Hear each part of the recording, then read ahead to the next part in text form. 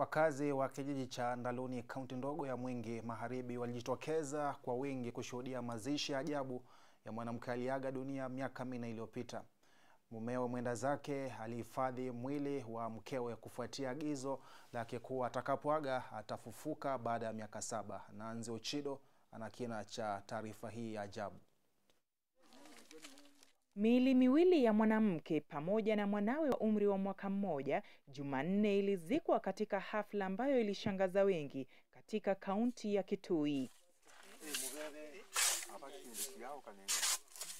Mwanamke na mtoto wake waliaga mwaka wa elfu mbili kumi na nne baada ya mwanawe kuaga mwaka wa elfu mbili kumi na tatu na vilevile wachumba hawa waliamua kuhifadhi mwili wake nyumbani kwao.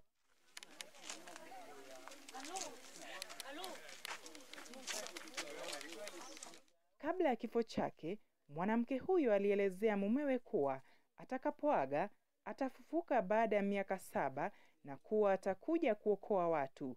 Jambo hili lilimfanya mume huyo kwa jina Kitu Munyoki kuhifadhi mwili wake na ule wa mwanao hadi mwaka huu. Katika rambirambi zake, naibu chifu wa kaunti ndogo ya Ndaluni Jackson Mbiti alionyesha furaha yake ya kumzika mwanamke huyu pamoja na mtoto wake hatimaye.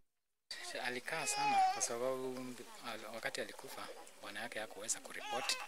Wakati tulijua 2016 ndio tuliweza kuchukua mwili tukapeleka nini mochari, alafu akaenda akafanya kifungo, akafungwa na jela, akafungwa jela na koti. Baada ya kufungwa akaletwa nyumbani akafanya probation kwa nyumbani. Juhudi za kutambua dini ya wachumba hawa hazikufua dafu, kwani Munyoki alisisitiza kwamba hahusiki na dini yoyote. Mimi sio mtu wa ndeni hmm. lakini wengi wanasema mimi ni mtu wa ndeni hmm. Mimi sio mtu wa ndeni hmm. lakini nasikizana na Mungu mwenye aliomba mbingu. Nancy Ochido, KUTV.